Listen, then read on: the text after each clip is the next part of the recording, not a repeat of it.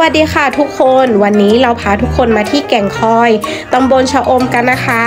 มาดูทานน้ำไหลกันวีอาร์ติดตามกดไลค์กดติดตามด้วยนะครับคลิปนี้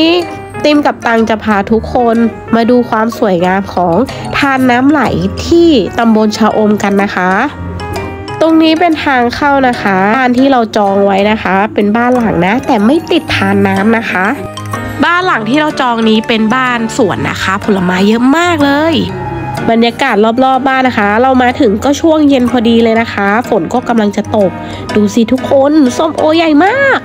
กลางคืนฝนตกมากเลยนะคะ แม่ก็ไม่รู้เนาะว่าทางไหนมันเป็นทางไหนนะคะ เพราะว่าเราเพิ่งจะมาถึงนะ และตอนเช้านี้น้องก็เลยพาทุกคนมาททานน้ำไหลตอน 6 โมงเช้ากันนะคะ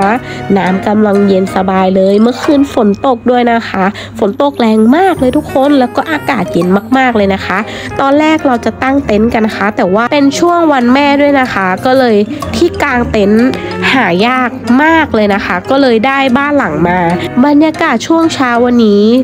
สบายมากเลยนะคะ น้ำก็ไหลค่อนข้างแรงนะ แต่ว่าน้องๆยังเล่นกันได้อยู่นะคะ คลิปนี้ไม่มีอะไรมากนะคะ แม่มาแบ่งปันความสุขในวันแม่ที่ผ่านมาให้ทุกคนได้ดูกัน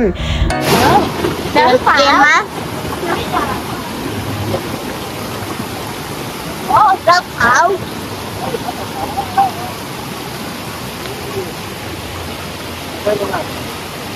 จะว่าไปทานน้ำนี้ไหลมาจากน้ำตกอะไร คนลองพิมพ์มาบอกได้นะคะ แม่ก็อยากรู้เหมือนกัน คลิปนี้เราก็ต้องขอตัวลาไปก่อนเจอกันใหม่คลิปหน้านะคะ ทุกคน สวัสดีค่ะ บ๊ายบาย